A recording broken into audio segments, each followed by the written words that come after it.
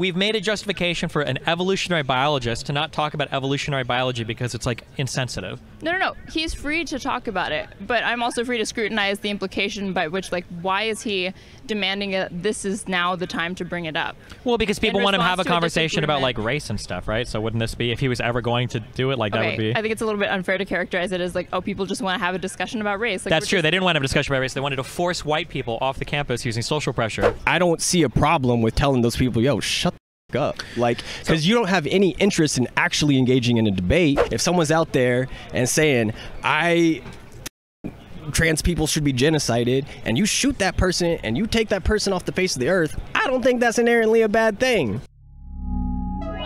My name is Erin, and I am here to debate if wokeness has gone too far or not. Okay, my earlier uh, undefeated conversation topic was that wokeness has obviously gone too far because I think progressives. Obviously. Obviously. Okay. Slow down. obviously, wokeness has gone too far because progressives are really bad at engaging other people in conversation topics. I think that like, there's like way too much of like a ideological orthodoxy that's like enforced around like any area that progressives get their hands on.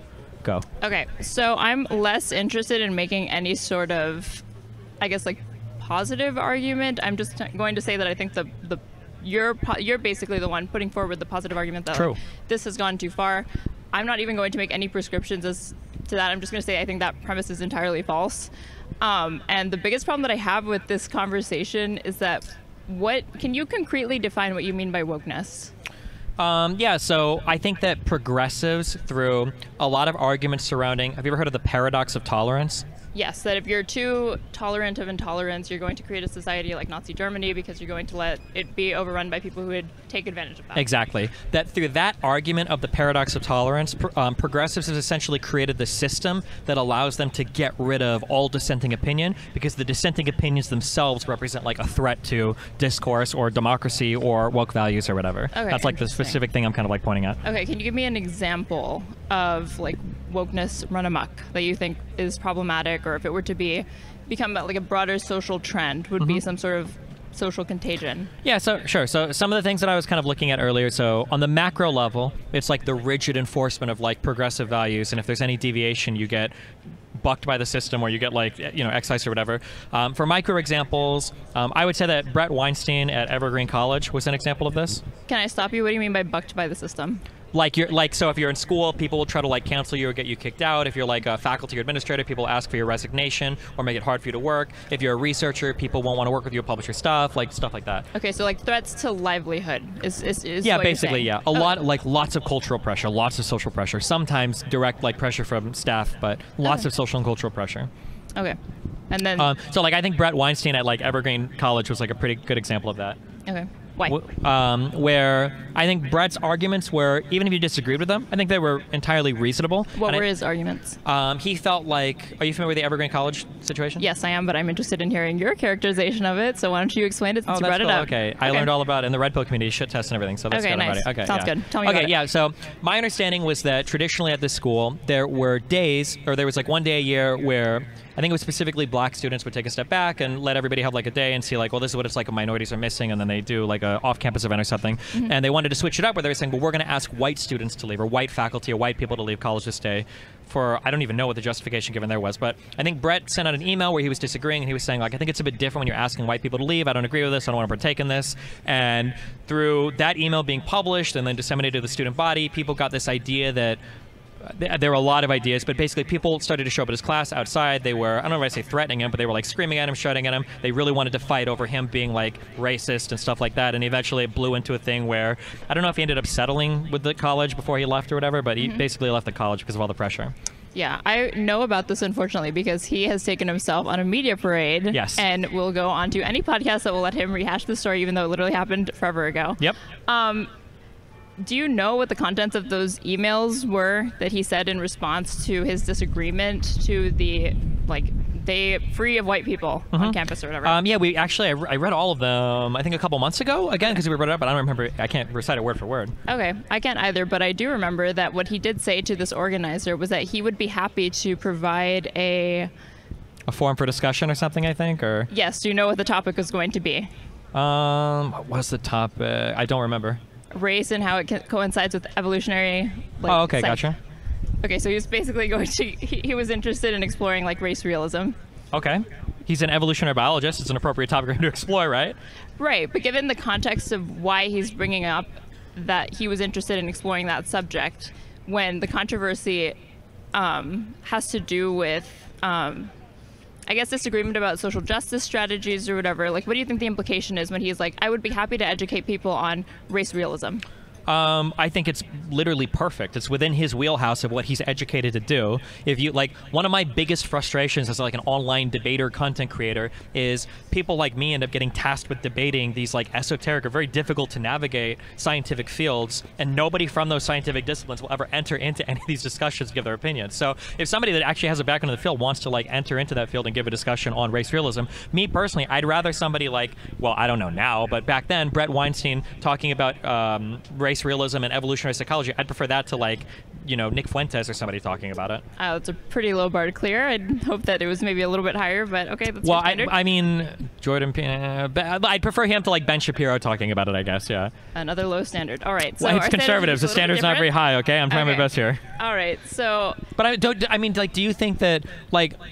No offense to Brett, or take offense. I don't want Brett to do like a workshop on like, let's talk about like the systemic injustice that appears in society and how we can like alleviate some of the pressures that minorities feel in like America. Like, he's an evolutionary biologist. What is he going to say to that? Like, that's just like a virtue signal. Like, oh, let's like, I brought a slideshow from YouTube.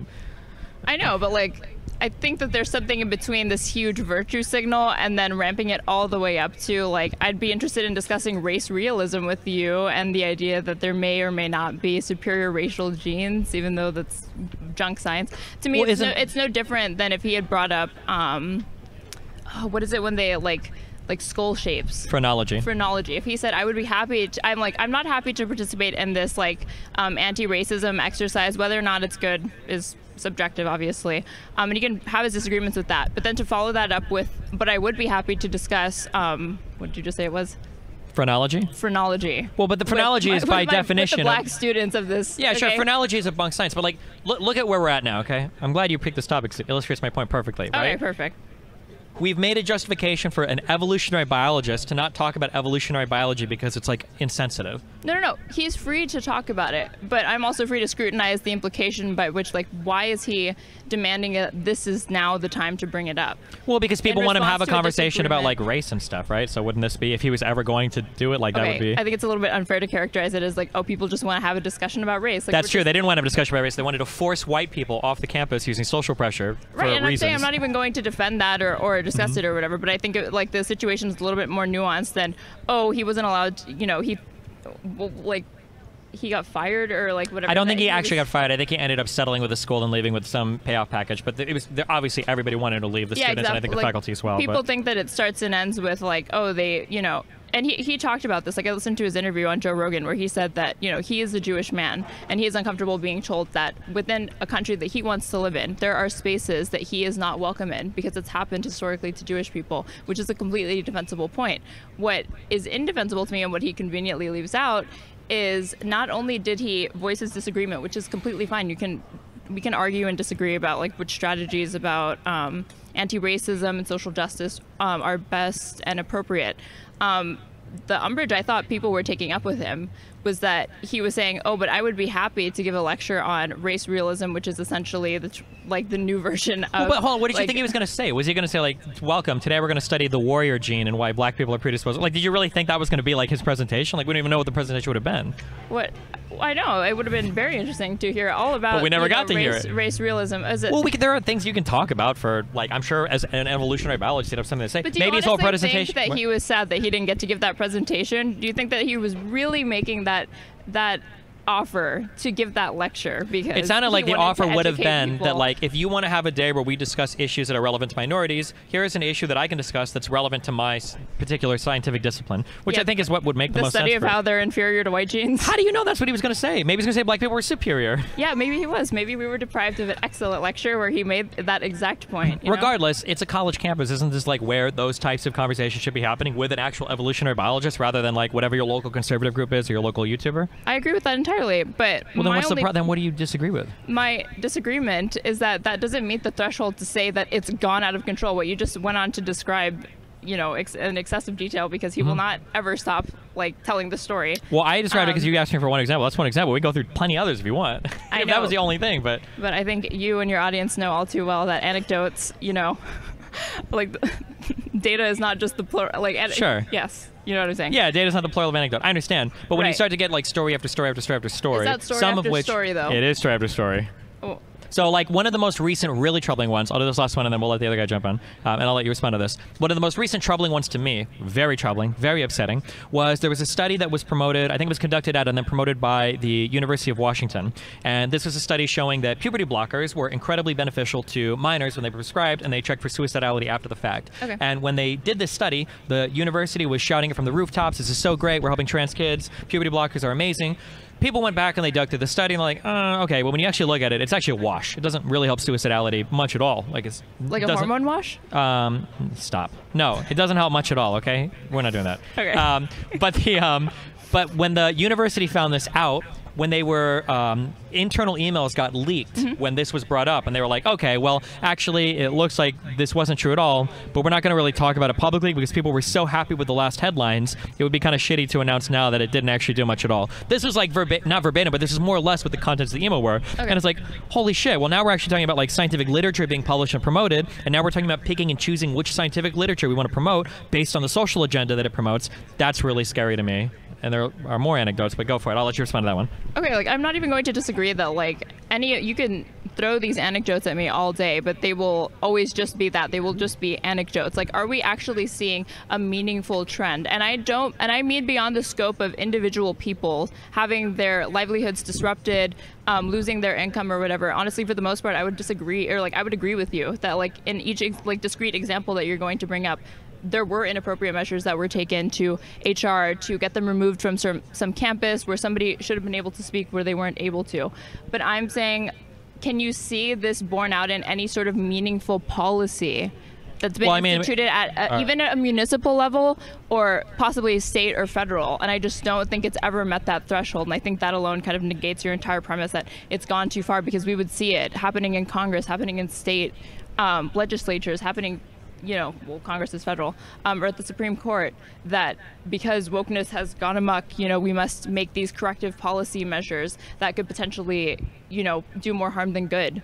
Um, and I guess that's mostly what I'm worried about, like the policy implications of saying that, like, okay, even if wokeness has gone too far, um, fine. Like for the sake of the argument, I'll concede like it has gone too far. Like, what, what do we do about it? Cut the bother. Okay. Oh, did you ask me what do I do? Oh, I said I give you the last word. Um, well, I, I understand that it's not there like in policy positions, um, but in schools and in the response to what's happening in schools, it does seem to be there. Now, for whatever reason, progressives are really bad at getting people elected and getting their will enacted in Congress. But I think across like college campuses, like when you look at like, man, what was the last place? Like the ideological leanings of like professors and stuff, it's like like 85% left, and like even some of the econ departments. Somebody, I don't know if it's true here for uh, University of Texas. But is that a problem? Um, Should we be hiring professors based off of their partisan affiliation? Shouldn't it be based off their expertise in the subject, how well they are at lecturing? Yeah, it should be, but you just told me that somebody with the expertise in evolutionary biology couldn't talk about it because it was racially insensitive. No, I did say that So- he was fine to talk about it, but I was saying we should. It's interesting also to explore the implication of why he decided that that was the appropriate moment to give that particular. No, no, lecture. I understand, but I'm saying that, like when, when I'm not saying we should hire people based on their ideological proclivities. Mm, sounded when, like it. When you're no, it didn't. You just heard that because you wanted to hear that. Ah, But okay. uh, if if you're getting this huge slant in a certain direction, the question is like, well, are all Well, how mo- do you know that that political that partisan slant? The question is, are all of these people, do they just happen to be left leaning, or is there like a culture that's kind of developing that encourages only left leaning people to participate, or people that aren't left leaning to kind of like hush their opinion a bit? You say, "Oh, is there a culture?" No, no, no. I think you firmly decided that. Well, like, because no, there obviously is, of definitely course. is a There culture. obviously is a okay, culture. there is this liberal orthodoxy that's being enforced within academia or whatever. progressive orthodoxy. Oh, okay. Um, aren't you a progressive yourself? Yes. But I don't enforce the progressive orthodoxy. That's why I'm here at the University of Texas talking to kids. But are you sure that that's really the progressive orthodoxy? What for? What? What that like? If you if you went up to the majority of progressives and you gave all these examples, do you think they would wholesale start endorsing like any of the repercussions that happen in all of these like awful anecdotes that you're giving, Yes. where somebody's like you're you're think so. positive on that? Uh, Okay, uh, just like wholesale 50 disagree on over that. I think you 51%, could yes. you would be able to find plenty of liberal and left leaning people who would be able to condemn any sort of actions that were taken. Like I Yeah, know there probably would be some, but I think that over half of like progressives would be in favor of like like viciously getting rid of like certain types of thoughts that they feel like don't belong on college campuses at all. like what types of thoughts like Like uh, like And how would you even like eliminate these thoughts? How would these progressives? Well, you do it through social culture pressure, right? And are they not allowed to do that? I don't think they should on college campuses. No. Enforce like a because I think that a college campus should This is what I like- mean. It's like wokeness just ends up turning into. wait, like, I'm answering wokeness, specifically. You're not letting me respond to your questions. Wokeness is anything I just I don't like. No, that's not true. Okay. What I'm saying is that like I think that on college campuses there should be like a diversity of thought, right? I should be able to find on a college campus like the local fascist squad like talking about fascism. And if I don't like what they have to say, I should be able to ask like my political science teacher like, "Hey, That's these people what those brought progressives are doing. No, they're not. What they're saying is we need to protest, boycott them, and get them kicked off campus so that in our own poli sci classes we can circle jerk about how ideologically pure and cool we are without ever having to address an uncomfortable thought or Okay, deal with at, trends at of what thought that point are do your criticisms of the like you know your your local um, white pride group, fascist group start? In your opinion, going too Mm-hmm. far, like you can only criticize them up to a certain point before you're like, hey, you're heading into territory where you're like your wokeness greed. Yeah, I think the issue is like, when you're not plat- with other people's rights. Yeah, when you refuse to platform it at all, I think that's an issue because then people don't even know how to engage with those different strains of thought. I know, but you know who's who was proposing stuff like this? It was liberals, not not progressives. Like back in 2019, during the presidential um, campaigns, Kamala Harris was the one who was going up on the debate stage and saying that she was making it a, like a policy promise that she believed that Trump should be banned off Twitter. This was back in 2019. Kamala Harris is a progressive, not a liberal, though. what She was like Medicare for all. She was way to the left of Biden. She absolutely was. she was. She was. But is she now? No, And you know she was- fell in you know line because Biden with, is a You know who boss. was disagreeing with her? What? The other progressive on the stage, Elizabeth Warren. Good. And now look where she is. And where's that? Not where Biden is. or Kamala Harris. Okay, final word. Go. Final word. I told you I'm not here to make any sort of like. Well, just give us a final thought. I gotta let people on. Damn. You give your your final thoughts first, okay? Um, Dealer, dealer my final thought is it's, it's hard to quantify, like, because people ask, like, maybe well, how because it do doesn't exist.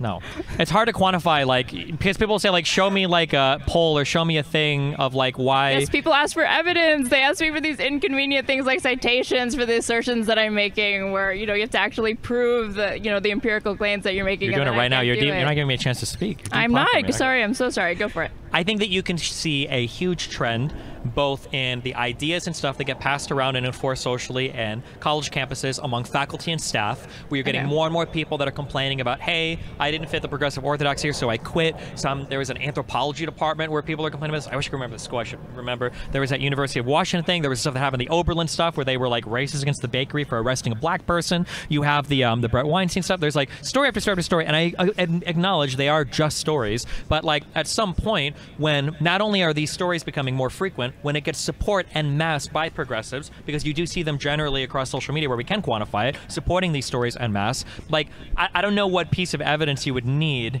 to see like, oh, okay, maybe this is like a problem that we should start to worry about.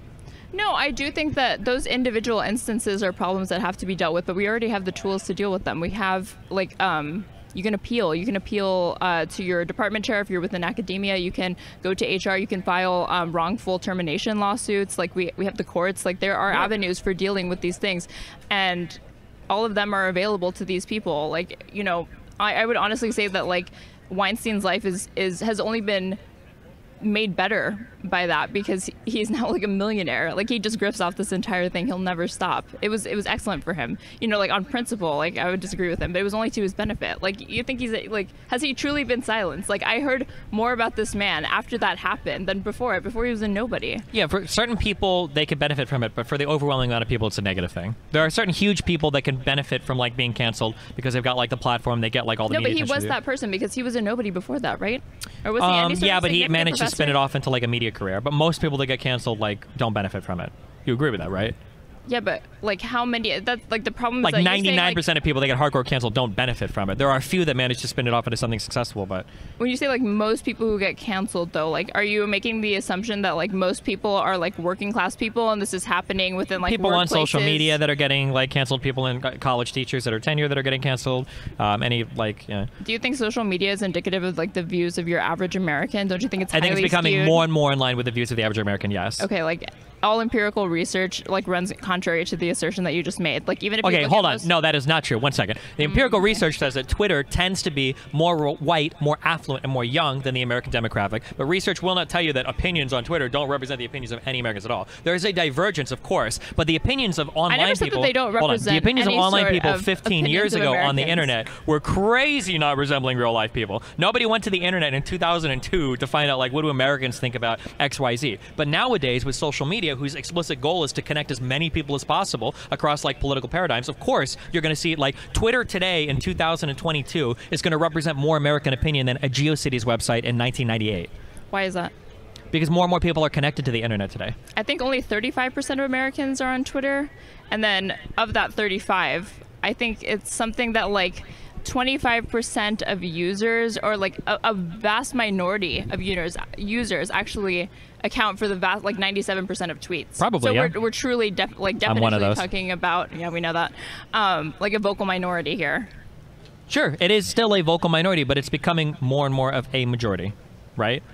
Like 15 right? years ago, my mom would have never said that she gets like news on Facebook. Today, she gets her news exclusively on Facebook, and I think it's something like 65 or 70 percent of Americans say they get the majority of their news from social media. Aren't so they might not be. telling your, on yourself a little bit by saying like like my mom or like citing like a personal example, kind of like sh- you know. Okay, well I well I like to do the one two. So the first was my mom. Okay, Mm-hmm. the second. So the second would be I'm pretty sure that like the most recent poll that I've heard is, is like it's between 65 and 70 percent of Americans' primary news source is social media. Like it's such a huge deal. You've got Facebook talking about like Cambridge Analytica and stuff in front of Congress. You've got Congress constantly asking questions of like how do we deal with misinformation online. You've got some Yeah, people that would assert even- that maybe you're, you're like on one breath you're telling me like well social media does it really represent much, and then on the other was hand you've got telling you, people saying on the other hand you've got people saying that like Russian interference in uh, different social media platforms was so important it might have been the tipping point for the election um, Mm-hmm. in 2016. So I mean, it seems like it probably matters.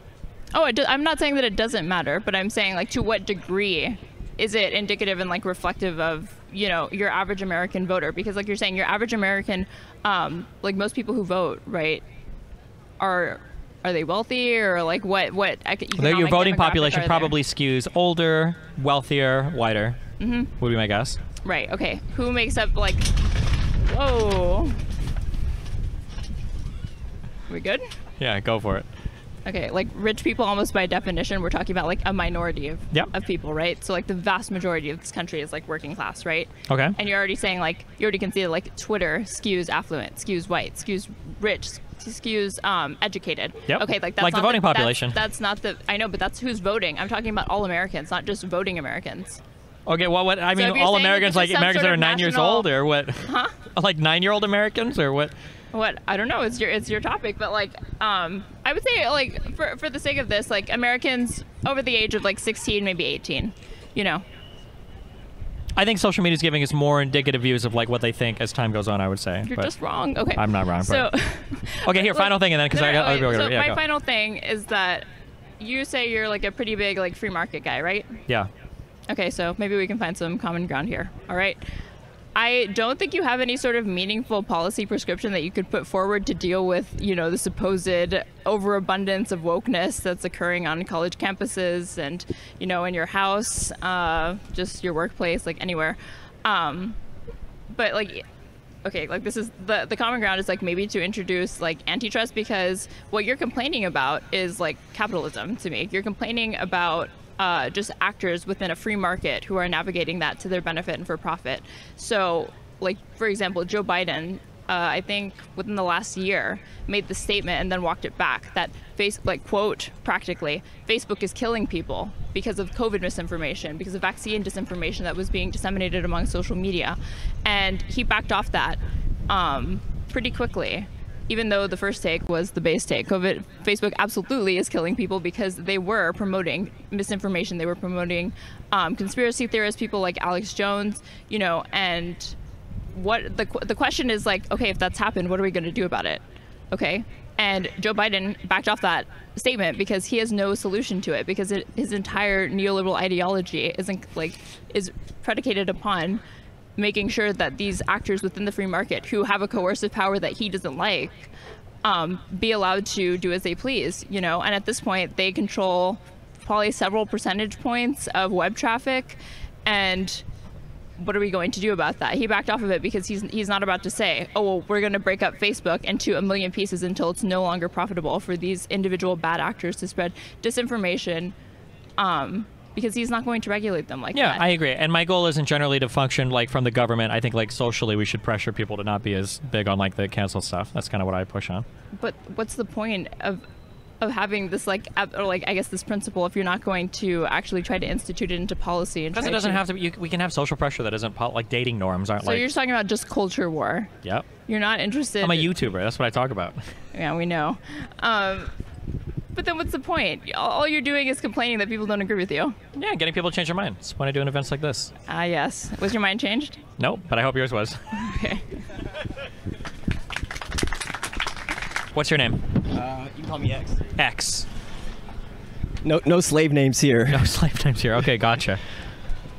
So, Yeah. What do you What do you want to start? Do You want me to start? or You want to start? uh, I mean, I guess I'm confused as to why you're taking the the terminally online definition of wokeness so much. It's like the way you're presenting wokeness. Mm-hmm.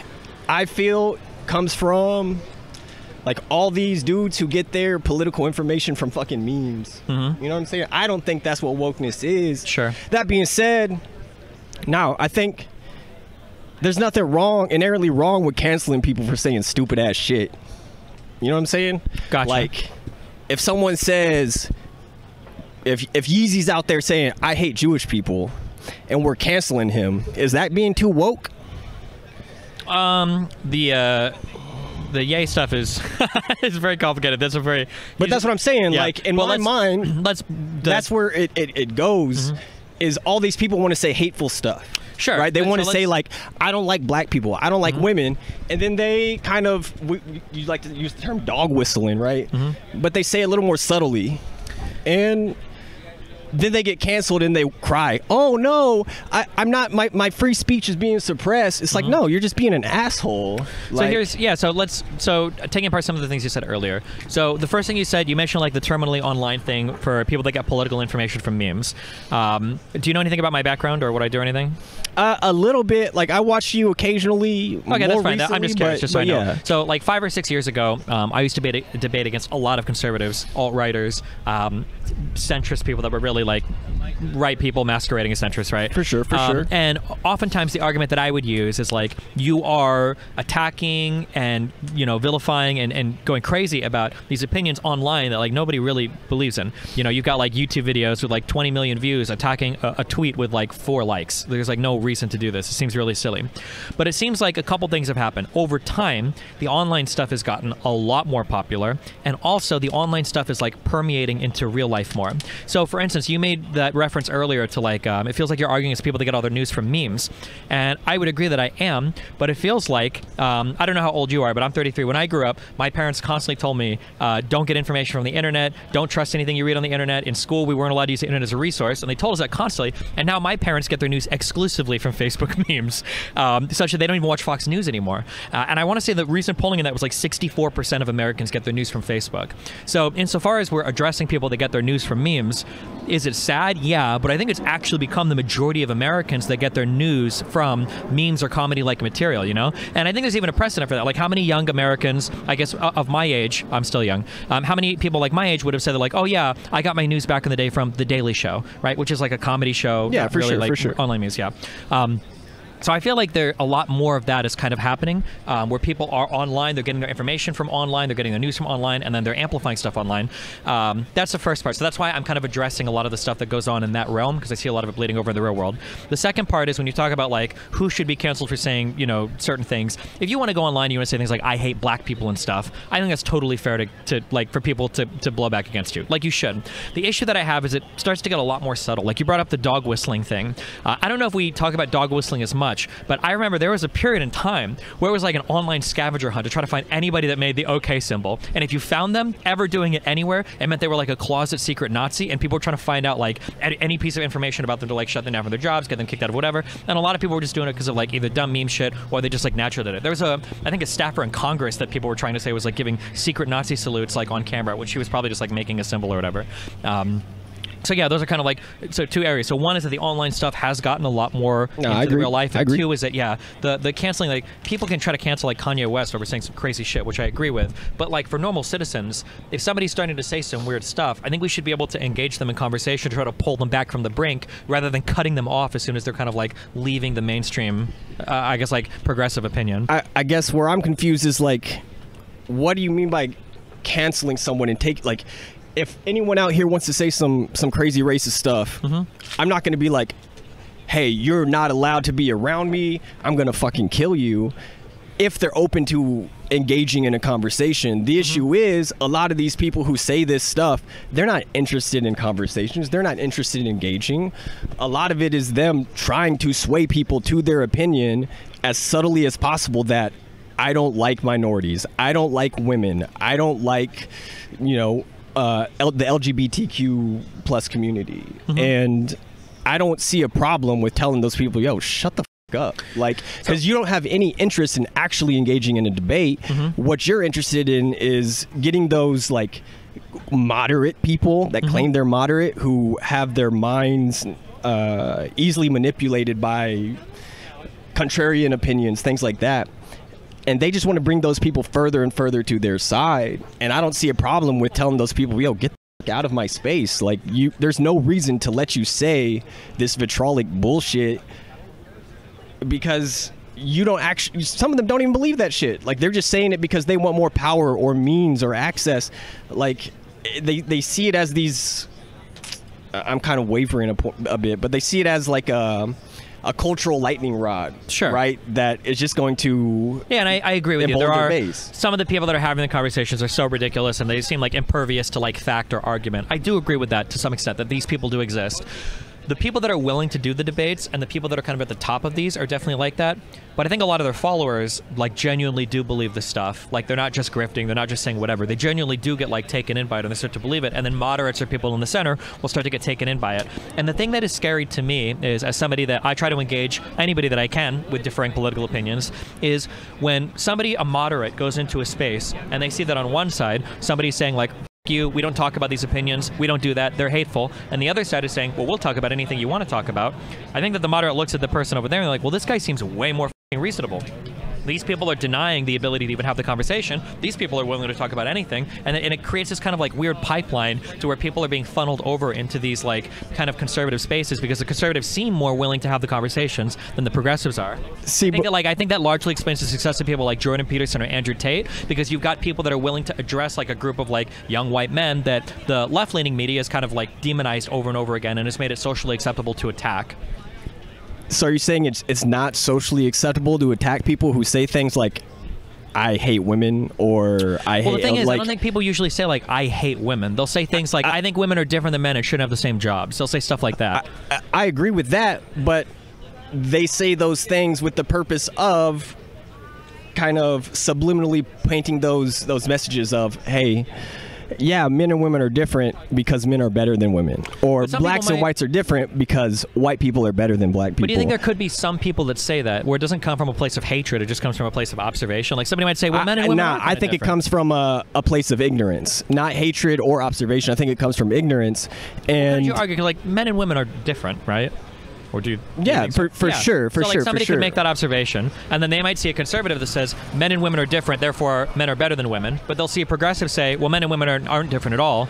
Well, aren't But they more h- likely to listen to the how many just 'cause he's how many progressives you know? do you see saying men and women aren't different at all? Like Well, I mean, I think arguably over like it gets a little bit more into the weeds, but like on the trans stuff, for instance, um, there's a lot of arguments that like, well, if you're on HRT for one year, you're essentially the same as whatever gender you've, um, you know, started to take HRT or TRT. I mean, but if we're talking about the trans population, that's like less less than one percent of the population, right? yeah, but for a while And- it dominated like 85% of the meteor cycle, right? And, and why do you think that is? Um, I think there's two reasons. I think one is because conservatives are looking for lightning rod issues that they can do a culture exactly. over. But two, it's because progressives get baited into defending really stupid positions and won't just like give ground in areas where Oh they probably yeah, I. I think there is a lot of anger within the progressive movement, and I think the issue is it's justifiable anger. Like for decades, we've had so many conservative voices saying these hateful, hateful things.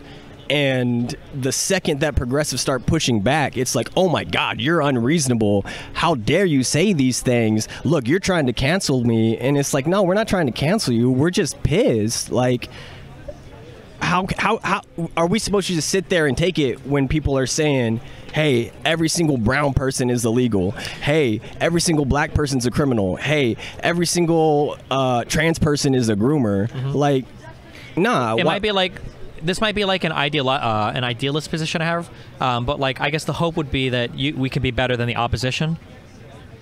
That like if, if you if you have people that are incredibly hateful in the rhetoric, the counter to that isn't to be like incredibly hateful back, but the idea is that like okay, well we're going to engage with the ideas and we're going to do our thing instead of like um, pushing like so hardcore on the other side that you have things like people justifying like the BLM riots, where they'll say stuff like, well, you know, people are rioting and it's understandable because of all the anger that they suffered. And it's like, okay, well, now you've got all these communities that now are even more incensed against BLM. Like we saw support for BLM massively drop off once the rioting started, and it's like, well, fuck, well, what do we actually accomplish at the end of the day? Like they were angry, they did dumb shit, the conservatives, which they have, I agree with you, but now we got angry and then we did dumb shit, and now like everybody's back at, at, at ground zero. And I'll give you the last word on that for the response. Go for it. So, are you saying? Uh, I, well, I know you said I, I get the last I word. respond to some but if but yeah, go. I, I do think there is a time and a place to respond with anger towards hate. I do think there is a time and a place to look at people who say terrible stuff and tell them, "Hey, shut up." And I don't think there's anything wrong with that. Like I'm, I'm gonna I'm gonna pull the Hitler card, right? Like if someone day one, a one from day one, Hitler's out there saying I hate Jews, and someone shoots Hitler the second he says that shit, I don't think that's a bad thing. Like if like. I I don't see how that is a terrible thing. If someone's out there and saying, I trans people should be genocided and you shoot that person and you take that person off the face of the earth, I don't think that's inherently a bad thing. Okay, well, I, I obviously I completely disagree, but uh, thanks for the chat. I really appreciate it. Thank you. I appreciate it. Thanks for coming up and disagreeing. I appreciate it. Uh, I'm Atanu. Wait, what'd you? Atanu. Atanya. Atanu. Atadu. Yes. Okay. How's it going? Great. Um, I just wanted to clarify, but you think that there is progressive movements that are worth like pursuing? Yeah, I think the progressive policies are things that I Yeah. generally agree with. Yeah, I'm a, like I would say I'm a progressive. Yeah. So wouldn't you say that like the overall like woke movement has progressed that significantly, at least in like last ten years or so? A bit, yeah, but I'm worried about like a snap back because of the unwillingness to engage with the other side. So like I would say like what we saw with Lia Thomas and the national mm. discourse on that represented a snap back. I mean, like, I think when you think about progressive movements historically and recently, that's always been a kind of part of it. That's always been like the conservative, like, talking point They're like, hey, are we going too far? Are we doing too much? And then I feel like liberals and progressives have always been carrying too much water on that topic for conservatives. I feel like we shouldn't we should talk more about the issues and not like say like hey guys we need to chill out because like if you think about like for example like blm more recently um, there's a lot of conservatives going on and talking about how there's too much rioting there's too much blah blah blah and then like i think like the number was like 93% of all the protests were peaceful. It's like why why as progressives why do we have to like address the worst parts of our movement when we can just push our message? I no, so this is something that I would agree with. yeah But here's the issue that happened. This is what changed. So that's what you just gave was the correct response. A conservative comes up and they say, "Well, what about BLM? That was super violent." You go, "No, it wasn't violent. There, well, Yeah. there were aspects of violence to it, mm-hmm. but I disavow that. I don't agree Yeah. with that. Um, most of it was peaceful. We should push mm-hmm. for the peaceful stuff and disavow the violent stuff. The issue is when the majority of progressives started to defend the violence, and I think that's when stuff started to get like really wacky because you started rather than saying like, "Yeah, there was some rioting. We don't support that. Mm-hmm. That's not good." You started getting people saying things like, well, you know, they were rioting against the capitalist establishment that's part of the oppressive system that is keeping minorities down, and that's why we have to burn mm-hmm. down like neighborhoods and city blocks. And it's like, well, now we're in a totally different world where it's not just like you're defining, you know, the types of stuff that we have to talk about. We're defining it by defending it. I mean, I, I think I think that's always going to happen, though. I think I think it's worth moving on to different topics or defending the thing that we're trying to defend without like giving that much too much like attention, like um because I, I don't think like the it's a vocal minority of progressives that like push this message. I think you said earlier uh, today that like a, a tweet with like four retweets or likes will get like 20 million views on like a YouTube video. It's like yeah. why? well, why- it used to, but now I feel like it's different. Like. It used to be the case that Twitter was a place where we just kind of ignored people because they were Mm-hmm. crazy and we knew they were crazy. But like in the 2016 election cycle, Bernie Mm-hmm. Sanders had to like disavow the people on Twitter that were like militant in favor of him. Like he had to actually come out on stage and be like, I don't support any of this stuff. Um, and then you're starting to see more and more vocal support for Mm-hmm. what I would argue are like movements that go too far, or at least protests that go too far. Like there, it should, we should unequivocally disavow rioting. It's the easiest thing in the world to Yeah, do, I- I with agree, some yeah. limited exception. You know, if you want to riot against like certain public buildings, like sure. But when we're talking about like burning down car dealerships and stuff, that's like the easiest disavowal in the world. Yeah. And when it's reached the point to where you've got like pictures of CNN journalists, you know, saying like, "Oh, here we are, at the mostly peaceful protest," and it's like a car dealership on fire in the background. You're, it's like the freest ammunition in the world Mm-hmm. to give to like this conservative side of people that are like trying to claim everybody's violent and stuff. Yeah, you know? I- I do think that like liberals and progressives have been historically bad at pushing their narratives and their whatever they want to push, but like I, I, I do think that like it's it's we we like the average person doesn't have like I guess like more specifically to the topic anti wokeism. I don't think we have the media literacy to understand for like for example if you were Crowder coming onto UT campus and I was like a dumb UT student Mm-hmm. like. I, like most people will get like farmed in that instance. They would like look bad. Yeah. Versus so like like canceling these people or preventing them from showing up and pushing their message when most people don't have the ability to like push back. I think that does more good than it does harm. So here's the issue that I have. I think that if Crowder shows up at a college campus and makes mm-hmm. college kids look bad, college campuses are the perfect place for that to happen. Because if somebody presents you with an idea that you don't know how to deal with on a college campus, you have communities, you've got teachers, you've got resources to figure out, well, how do I navigate these conversations? Some guy came up and he gave somehow a really compelling argument for like Nazism or something. I didn't really know what to say. I didn't have the historical background. I didn't have like the policy governmental background. I didn't have like even the moral or ethical background. I know what to do. But I've got this whole host of resources on this college campus that I can like have conversations with to flesh out like, well, this is what you could have said or this is how you deal with that. As opposed to what seems to happen is people go to college, they hear one message the whole time, they don't really get any diversity of thought, then they graduate, then they're in the workplace, and then they stumble onto like these crazy f***ing YouTube channels, and now they're like, well, hold on, this guy is saying some crazy true shit, and I've never heard a counter to any of these ideas before. Maybe there's some truth to this. And now, who do you have to talk to to like try to figure out if they're good or bad ideas? Your friends? You've got like the comment section on videos. Like at that point, you're like doomed. You know. That's why I feel like college is like this last bastion of area where you can have like really aggressive conversations, but then have a community afterwards to go into, and then to figure out like, well, what's the best way to navigate it? I, I do appreciate the idea of that that like you get challenged in like the marketplace of ideas and then you go and like learn from it. But like it, it, there's two things. It's like first of all that's assuming that that kid would go from that conversation and then want to learn from it instead of just being like butthurt and doing nothing about it. That's like one that's one big part. And the second thing is for every kid that like learns from this instance from like facing it there's like a million people watching crowder's videos and learning the opposite. It's like oh look at this like kid he got like owned on youtube right? It's like those videos in like 2016 2015 created a whole generation of like conservative people. Like Yeah, but I feel like the reason why they created that generation is because like Crowder largely seems to go unchallenged at these college campuses. Like people don't know the response to like pretty basic questions. Like if you feel strongly I, I enough don't about think that's going to change though you don't think people can be educated to like have good responses to like the crowd? I, I think that the design of those kind of conversations when like people come onto campuses and give talks they they aren't going to face any kind of no matter like what happens aren't going to face any kind of like real pushback so And then what? About, so then what about kids that have graduated college? Like how do you how do they deal with like YouTube videos and stuff? Are they just lost at sea or? I mean, like every, every no, I I mean I'm pretty black pilled on this. I think most people are not going to have the media literacy to understand. so then do we like ban it all off YouTube as well or?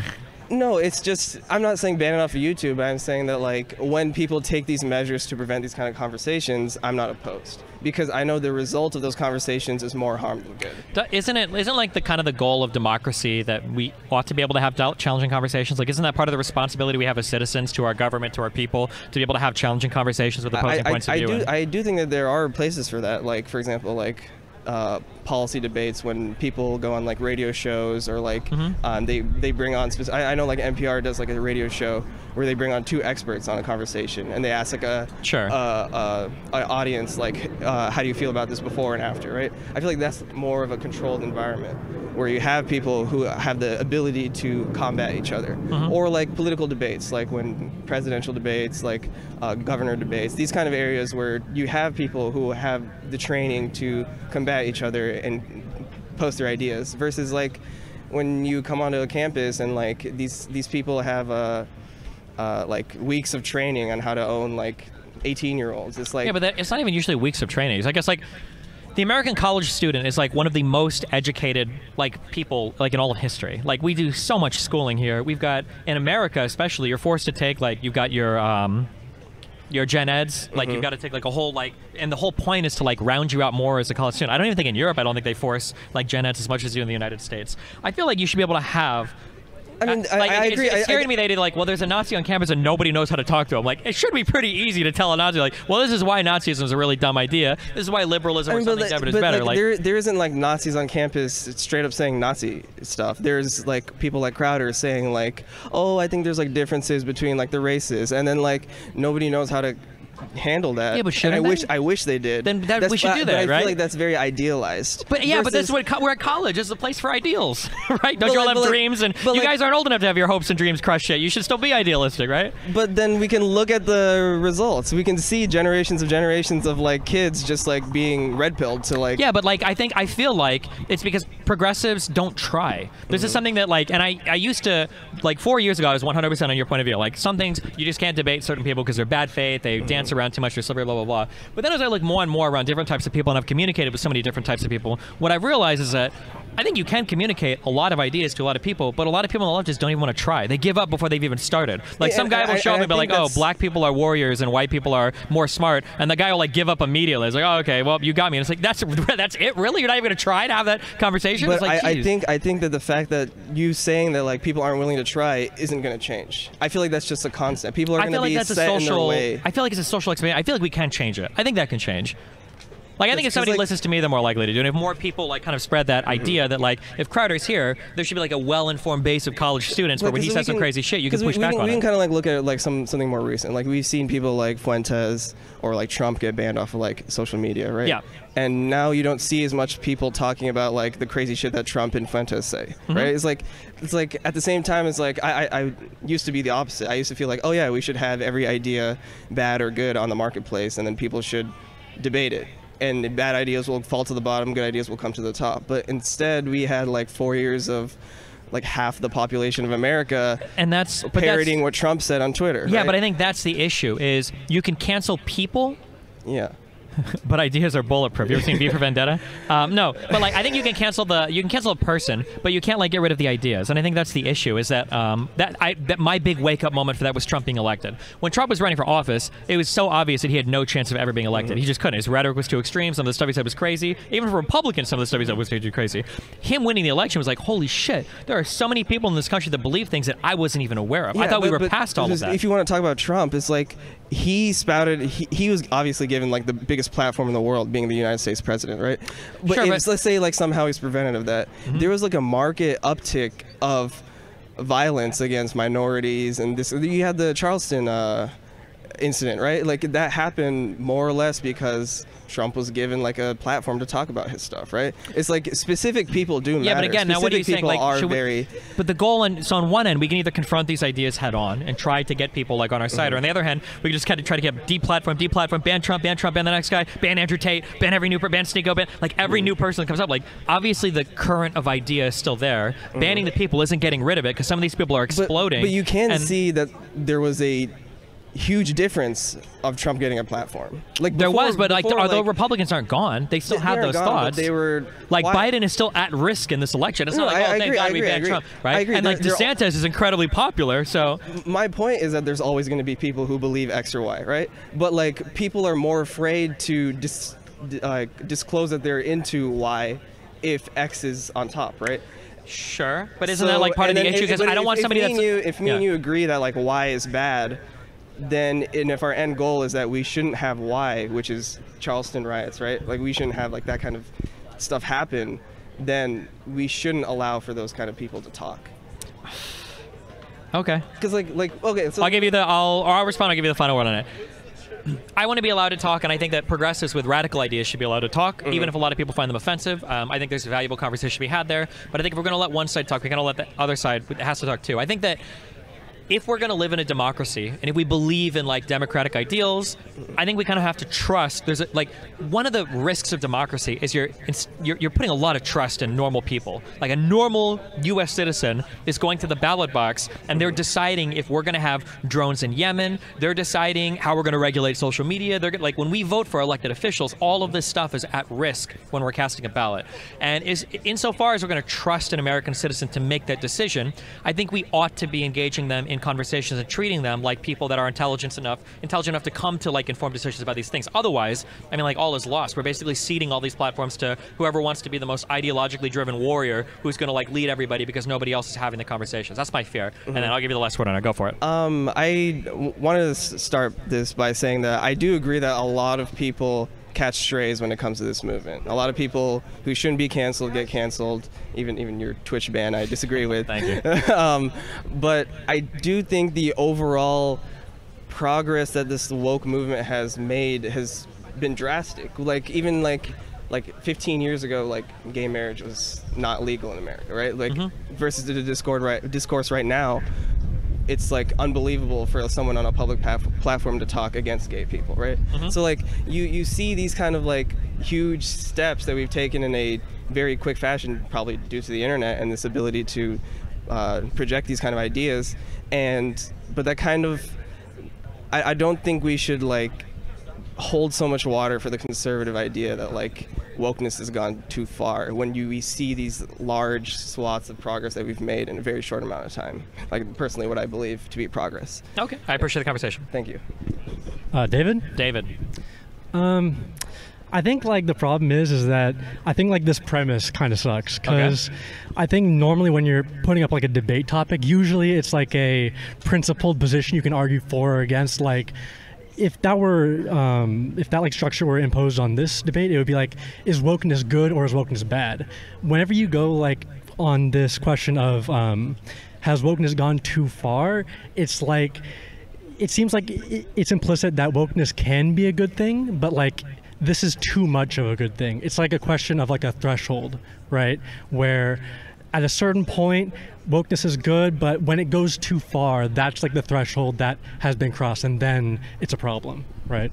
Yeah, I mean, but that's I guess that's essentially my argument. Like, uh, in terms of policy positions, like I agree with most woke things. I think um, my issue is just like this: the rigid social enforcement of like progressive ideas, and then the like expulsion of everybody out of communities that doesn't like adhere to this really rigidly defined system. Is essentially my problem. But like, I'm not going to say that like wokeness is bad or all woke things are bad or whatever. It's just kind of like the woke culture and like the very purely driven, like internally reinforced culture that's developed out of it. I think has gone a little bit too far. It's too much. So but like when I say too far, like if you've got a guy that is like in a group of friends who like calls people the N word all day, and you're like, we're not talking to you anymore because that's cringe now. That's cool. That's based. But if you got a guy who's like, um, I don't know if I feel like cultural appropriation is a big deal, and you're like, okay, well, we're gonna put you on Twitter and ruin your life. That's probably too far. Yeah, But yeah. both are like a form of like wokeness, I guess. But yeah. um, like would you say that like you have your, your principal objection to like the current way that this is handled is like ethical or like in terms of like effectiveness because i don't really have like the data to support this but um, I think when you look at like certain people who I feel like are causing like active harm, um, like I think you know Andrew Tate's a great example, um, especially because it feels like, and I don't I don't have like the data to support this. It feels like when he got deplatformed from all of these different places, you saw his um, rhetoric like way less. So if you feel like his rhetoric is causing harm, if he's deplatformed, then you could say that that's like effectively a good thing. But would you still say that that's ethically a bad thing? Um, I would say it's ethically and practically a bad thing. So the- Republicans do this on their side. Progressives do this on, here, on their side. Okay, so here's an issue that I have. Okay, let's say we've got some people commit too much crime. Say Right. poor people commit too much crime. Okay, there's two ways to look at this. I would argue the conservative way is like make it more illegal, make it more punishments. You know, fuck these people committing crime. Then the progressive side will look at it and go, okay, well hold on this is a really one-dimensional view of crime. People don't just commit crime because they want to commit crime. There's all of these extenuating factors, all of these environmental reasons why if you put a person in a certain area, they're more conditioned to uh, commit certain types of crime, right? Right. Which is probably a better way of looking at things. But then when progressives look at social media, they'll see like somebody like Andrew Tate, and they'll go like, "Oh my God, Andrew Tate, popular guy, misogynistic, permaban on everything. Boom, we fixed it." And it's like, Right. well, no, hold on. The problem isn't Andrew Tate. Andrew Tate. Did this guy even exist online like a year and a half ago? Uh, it feels like his whole thing was like this big, crazy. Well, I think this is the problem, right? Is like he came out of like nowhere and he like exploded. but like exactly, issue, it's not like it's not like everybody was like super chill and cool, and then fuck, Andrew Tate just came out of nowhere and boom, turned everybody like red pill, misogynist, blah blah blah. It seemed like that like undercurrent of thought was there, waiting for somebody to show up and be like, oh, that's our guy now. And now that Andrew Tate's gone, my prediction for the future, there's going to be another guy that's going to pop up because you haven't actually addressed any of ideas or addressed any of the issues that like caused him to become as popular as he was. You just ban that particular person, and you're hoping that another person doesn't come up that's like him in the future. Yeah, but like I feel like that's kind of the problem, right? The fact that he could explode so fast, because like what was responsible for that was the fact that he really zeroed in on, on this really really effective scheme of making himself more popular and disseminating his ideas. Because he would have like this weird like pyramid scheme of content creation where he could pay people to put him on TikTok, put him on YouTube, and just flood the internet with his name. And so I feel like the fact that somebody can do that, it's less about the ideas at that point, and it's more about the mechanisms of these social media websites that can allow for people to take control of them and just like explode their ideas. Sure, but there's a lot of people that could do the same thing Andrew Tate did and not get any popularity at all. Like at the end of the day, he had a good scheme for paying people and getting people to post his clips online, Hmm. but they only got popular because the, there was somebody that wanted to hear that message that he was giving. Right. And I think that like it's not like Andrew Tate came out of nowhere. Like him personally, he came out of nowhere. But like we've had red pill movements online, you know, since the, the early 2010s, right? Yeah, you had the course. early like pickup artist MGTOW community. You've had the growing like red pill, black pill community. Now you've got like this like the, the, the whatever the new generation or iteration of red pill community under like uh, Tate, this like quasi Christian, quasi traditional values, but also weirdly misogynist, just like whatever. Like you, you've got this like new like Tate esque stuff. Um, It's it's been growing. It's been like under there, waiting for people to come up and like take advantage of it. And I don't feel like any progressive or liberal response has ever been mounted against it. Like, like a conservative. Here's the thing: if I was a conservative, okay, I would ask a progressive, okay, you want to ban Andrew Tate, you want to get rid of like Jordan Peterson, you want to get rid of these guys. Who are your male role model, male role models on the progressive side that are speaking to like disaffected young men? Yeah, I mean that, that is a good question. But like I think the thing that I want to get back to is like obviously nobody's going to disagree that misogyny has always existed and that like these communities have always existed. The question is did was Andrew Tate responsible for the growth of these ideas, especially in younger demographics? Because you would see all these accounts of like teachers and like high schools and even middle schools being like, "Well, all my students are talking about Andrew Tate. He's like their favorite guy ever. He's like their role model." And so it's less about the fact that oh, misogyny's always existed, so Andrew Tate's like not that big of a deal. I don't want to like strawman your position or anything, Yeah, yeah. but like you know, I think the bigger problem is the growth and the dissemination of his ideals. The fact that you know he is so popular on platforms that are pla- that are popular amongst like young people. It's less about like the ideas and whether or not they exist, and like it's it's way less about debating the like value of these ideas. It's more about like the volume and the presence of these ideas amongst demographics. Yeah, I guess the issue is that like I, he probably moved the needle a little bit, but I, I think that he's speaking to people that are they want to hear the message because they're not getting anything on the other side. Like I'm gonna, I never do this, people. I'm gonna put you on the spot a little bit, okay? Okay. Understanding it's hard to do this, Sure. But like, so here's a question, okay? Andrew Tate got deleted off the internet. Sure. Like 20 social media platforms all banned him simultaneously. Yeah. Why? I mean that that is like a good question. I think. I mean, like this is the So th- problem. this, No, is, no, this no, is troubling is- to me because like this guy got deleted more than Trump got banned off the No, no, no, I- and I- we don't even know why he was banned. I do have an know? answer, and this is why I probably would agree with you. I think uh-huh. the problem is is that um, all social media platforms have really, really interpretive TOSs, and so like. But this isn't you about really interpretive ban TOS. This is about like this is about the woke idea. It's about the rigid enforcement of kind of like the progressive orthodoxy. That like the reason why Tate was banned was because he was giving opinions about like misogyny and stuff that kind of fell outside of what is like the socially acceptable left-leaning kind of like orthodoxy view on I guess gender norms or whatever. And so he got like completely bucked and destroyed by the system, just gone. Yeah. Because like if I ask like because when when somebody tells me oh this guy got banned from Facebook, uh, TikTok, Twitch, Instagram, everything, I'm thinking like okay this dude is either a terrorist, mass murderer, convicted multiple rapists, but it's like well no he just like people said he was misogynistic I guess, but it's like Well, yeah, that's really troubling to me. I, like I think the thing is is like I think it's this isn't question this isn't impossible to question answer. I mean impossible to answer question because like we don't know what the thought process was of the people in the room making these decisions. And at some point, it kind of veers into conspiracy because none of us are flies in the wall. Like in the board of directors room for like Facebook or like in these rooms for like TikTok or whatever, we don't know what their rationale. We don't know what their thought process was. It's Sure, totally but we do know there was. us. It is a to, to use the technical term. It was a conspiracy, and that there was a plan by multiple people to get him off the internet. Right? Like it, it's not like unless he happened to just break the TOS on like six different social media platforms at the same time. That's probably not the case. Like there was like a like okay, well this guy's got to go, and then everybody's like okay, well we're banning him, we're banning him, we're banning. Now maybe they Yeah, didn't all plan it, but they saw one platform do it, and everybody's like okay, well fuck, we gotta follow suit. Yeah, which is I think almost just as scary, but I was gonna say because I think that's like a real capitalist thing where when you have PR image, like when you have like a PR image for your company, like you don't want to be the one platform that doesn't well, ban this, Andrew Tate. This, is, this this just happened with Hockey Canada, right? Because Hockey Canada had a bunch of like these sexual assault allegations, and when one sponsor pulls out, then the five left are like, oh, this looks bad. Then another one drops out. Oh, now there's four left, and it's like, well, this looks terrible for us. So I think it's more of like a PR thing. Once one drops them, and you don't know why they dropped them, the rest of them might just fall in line because of like. A, of like a, a purely cynical corporate decision. That is true, but my guess would be I'm going to totally make this up, but if I could find a way to poll all progressives on college campuses, my guess would be over 70% think that Tate should be permabanned from all social media without knowing why he's even banned. That'd be my guess. Yeah, but at, at that point, I, I, I don't know. Like you have to actually poll them because I don't know Sure, what the I, number is. yeah. Um, okay, I'll give you the last word on this topic. Go. Um, I got nothing. I think we had a good conversation. Okay, so well, hey, I appreciate it, man. Thanks for listening. Thought. Yeah, have a good one.